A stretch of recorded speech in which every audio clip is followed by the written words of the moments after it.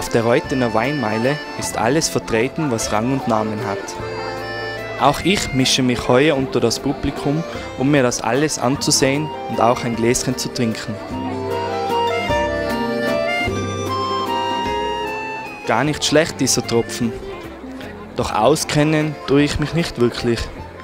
Aber wie sieht's mit den Besuchern der Weinmeile aus? Haben die mehr Ahnung? Wie könnte ich das herausfinden?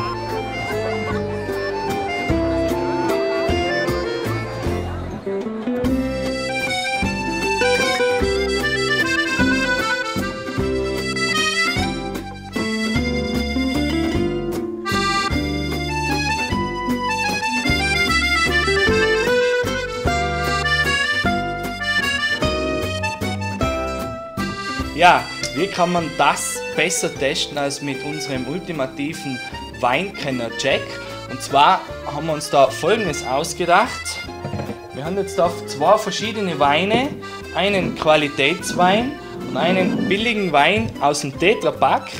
Heute erworben beim M-Preis für 1,59 Euro. Und da machen wir jetzt die Gläser voll.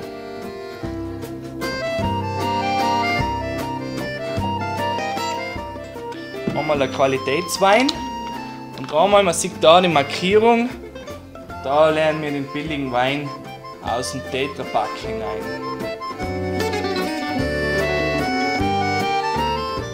Und die Leute müssen dann einfach mal probieren, ob sie einen Unterschied herausfinden. Den ultimativen Weinkenner Jack werde ich jetzt erstens einmal selbst durchführen. Zuerst einmal das gute Tröpfchen.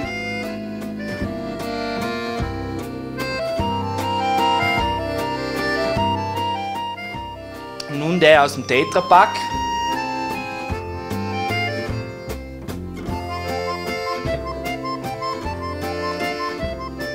Ein leichter Unterschied ist feststellbar, aber das Wichtige ist natürlich, was die Besucher der Weinmeile dazu sagen.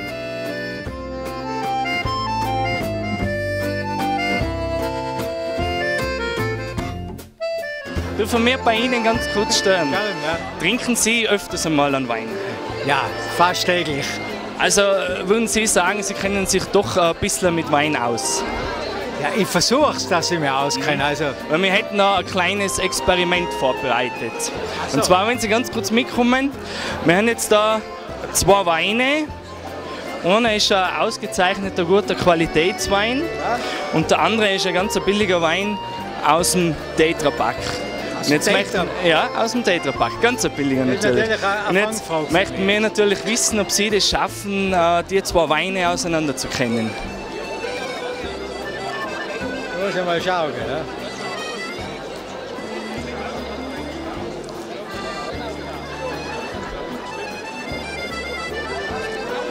Wie ist der jetzt vom Geschmack her? Das ist okay. Aus, aus der Sicht, wie ich das beurteilen kann, ist der okay.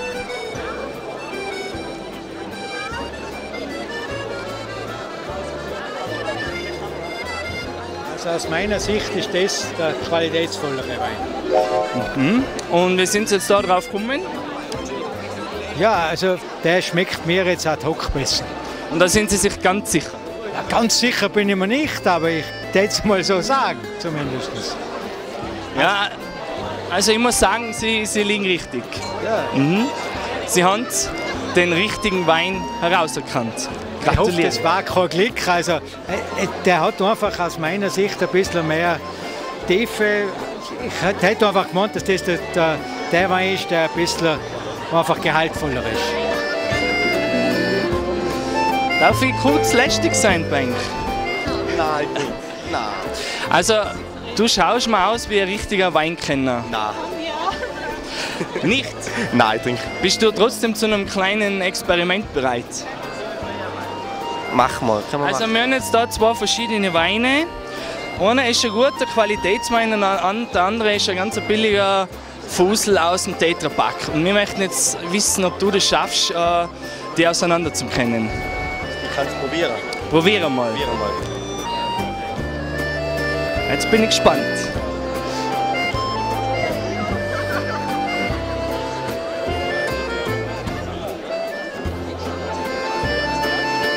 Wie schmeckt der erste jetzt so? Das schmeckt gut. Also, ich könnte jetzt nicht sagen, dass er schlecht ist. Also wenn du den jetzt in irgendeinem äh, Lo- in einer Lokalität an den Tisch gestellt kriegen, würdest du würdest du sagen, ist in Ordnung. Ist in Ordnung wohl. Dann probieren wir mal den zweiten.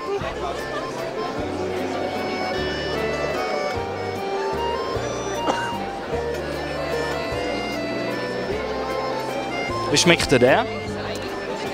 Bisschen besser, muss ich sagen. Bisschen besser. Bisschen besser, ja.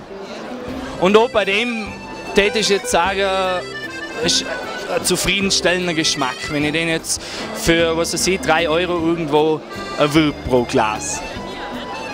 Ja, also wohl. Das passt. Und, und was tätest du jetzt umwohnen, welcher ist der gute und welcher ist der billige? Nein, schwierig zu sagen. Ich habe gesagt, das ist der, der gute, der was mehr kostet. Und das ist der billigere. Mhm. Und, und wie kommst du auf das? Ja, Vom Geschmack her einfach. Geschmack her, ja. Intensiver oder? ja mir hat der besser geschmeckt. Vom Geschmack her. Ein bisschen, mir ist vorgekommen fruchtiger. Und der ein bisschen leichter. Also ich bin überrascht, obwohl du selber von dir sagst, du bist kein Weinkenner, hast du das richtig erraten. Stimmt, oder? Es stimmt, ja. Und, und ich denke, man, man merkt den Geschmack wirklich aus, oder? Ein bisschen, ja. Dürfen wir mit dir ganz kurz den ultimativen Weinkenner-Test machen? Da hast du aber einen super Weinkenner erwischt. Kennst du die aus? Nein, nicht wirklich. Nicht. Wie wärst du zu dem Test trotzdem bereit? Bitte, können wir mal. Also wir haben jetzt da zwei verschiedene Weine.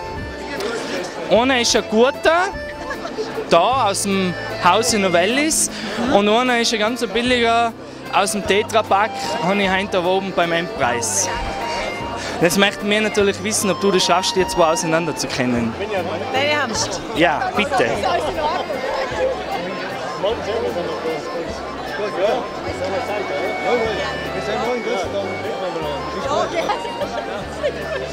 Ist der? Der bremst ein bisschen hinten nach. Er bremst.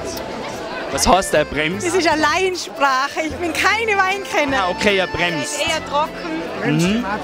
Genau. Der bremst erst Dann testen wir mal den zweiten. Seite.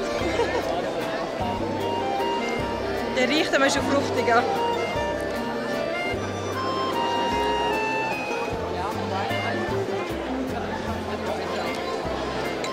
Das ist der von Novellis. Welcher ist der von Novellis? Der, der erste.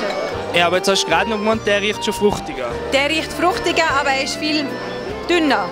Er riecht zwar, aber er schmeckt nicht so Also er bremst nicht so im Abgang. Nein, der ist gehaltvoller. Flutscht ein bisschen schneller. Ja, genau. Flutscht schnell. Also du hättest jetzt gesehen, dass das der gute Wein ist. Hätte ich gesagt. Mhm. Und? Wir müssen dir recht geben. Ah, Erleichterung. ja, große Erleichterung.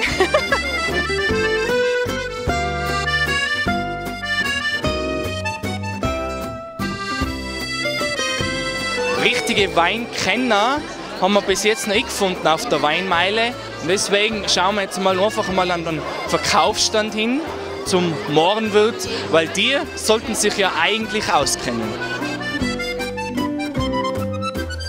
So, bei uns ist jetzt der äh, Roland Ruhr vom Hotel Mohren und er sollte sich ja eigentlich mit Wein auskennen. Wir haben jetzt einen kleinen Test für die vorbereitet. Und zwar haben wir jetzt da einen guten und einen äußerst billigen Fussel aus dem Tetrapack und wir sind jetzt gespannt, ob du das schaffst, äh, die zwei auseinander zu kennen. Würdest du das einmal testen für uns bitte? Es gibt keinen schlechten Wein. Es gibt keinen schlechten. Aha, okay. Dann haben wir schon das erste gelernt heute.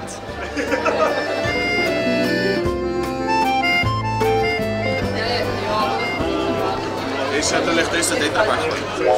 Und warum? Weil den Wein mehr am Stand haben und ich den schon ganz oben trinke. Und wenn du jetzt ganz ehrlich bist, hättest du es sonst auch rausgefunden? Ja, ist viel gehaltvoller. Äh, der eine ist relativ dünn. Das merkt man auch beim Trinken. Vor allem Dingen dann, wenn man zuerst den schwereren trinkt. Dann merkt man es eigentlich sofort den Unterschied. Dürfen wir mit euch beiden ganz kurz einen ultimativen Weinkenner-Check machen? Und vielleicht der Helgel auch so, und dann muss sie hin. Wie ist der so? Trocken. Gut? Mir zu trocken. Geht so? Okay, probieren wir mal den zweiten. Wie schmeckt dir der erste? Nicht. Der ist mir zu trocken. Zu trocken? Okay. Schauen wir, ob der zweite besser mundet. Ist der besser? Der ist noch trockener. Noch trocken. Vielleicht probiert der, der Herr mal ganz kurz. Was, was denkst du jetzt, welcher ist der Qualitätswein und welcher ist der, der Fusel? Ich glaube, der erste. Der erste ist der Qualitätswein. Was denkst du? Umgedreht. Umgedreht? Ja. Der, der zweite ist der.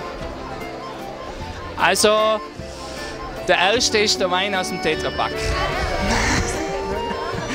Und wa- warum bist du so, hast jetzt du die Schlüsse gezogen? Äh, der ist weich am Abgang. Also runter. Also der schmeckt besser wie der erste. Der ist so, weiß auch nicht, zu trocken. Du hast leider daneben geschossen. Ja.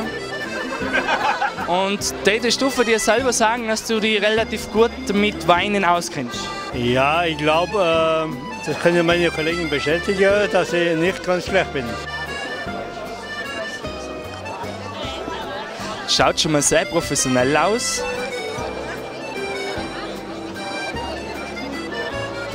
Das Wort ist sicher der bessere. Was mich jetzt natürlich interessiert, dieses Schwenken.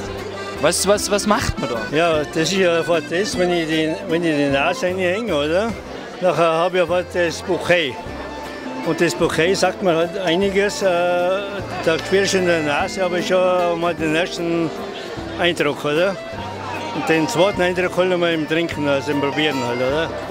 Also ich kann dich beruhigen, du kannst heute äh, mit gutem und reinem Gewissen als Weinkenner ins Bett gehen. Du hast recht gehabt, du hast den guten Also, Wein Da ausgeschmeckt. waren wir ziemlich sicher.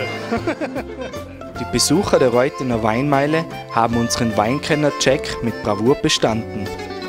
Ein Unterschied zwischen einem teuren und billigen Wein scheint also da zu sein. Trotzdem haben wir gelernt, schlechte Weine gibt es nicht.